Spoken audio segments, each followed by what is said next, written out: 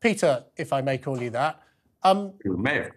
Good. How much resistance do you think the Prime Minister is going to feel in the House of Commons? We'll come on to your role in the Lords in a moment, getting this bill through uh, the Commons next week.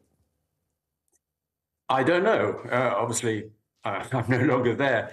Uh, from what I talk, there are concerns. It'll depend a bit what the uh, so-called Star Chamber of the European Research Group conclude as to its effectiveness.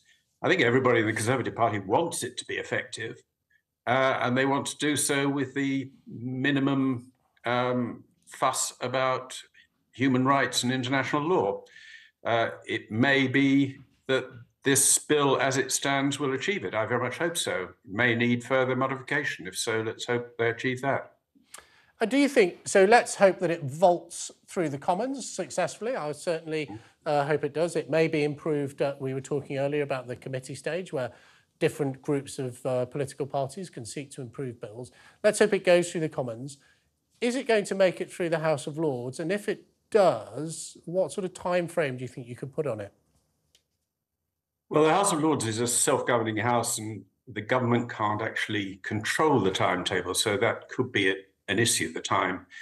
Um, I am not sure whether it will get through the House of Lords. The House of Lords is a very hypocritical place, if I'm allowed to use that word.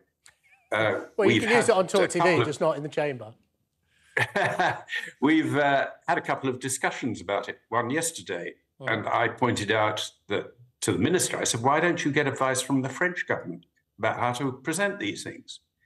The French Minister of the Interior on the 31st of October announced to the Assembly, National Assembly, that he proposed to ignore rulings of the European Court for Human Rights and send people back to their home countries if he thought they were dangerous. There was almost no outrage at that. On the 14th of November, he actually sent uh, a asylum seeker back to Uzbekistan despite a ruling of the European Court of Human Rights that uh, he shouldn't do so because the asylum seeker would suffer the risk of torture and death. There was no outrage. It hasn't been reported. You were the first uh, broadcast program, I think, to have had this on, apart from Parliament Live TV, which obviously nobody watches. Uh, it's extraordinary. The French can get away with this without outrage. And I, you know, I tease the fact we had the head of the Foreign Office saying what a terrible thing we were doing making no comment about what was happening in France. He didn't even wasn't aware of it.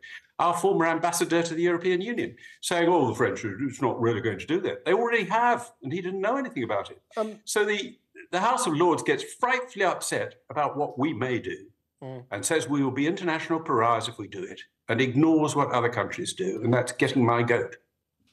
So, so Peter, is this a question of political will then? I think the Prime Minister's been completely unequivocal.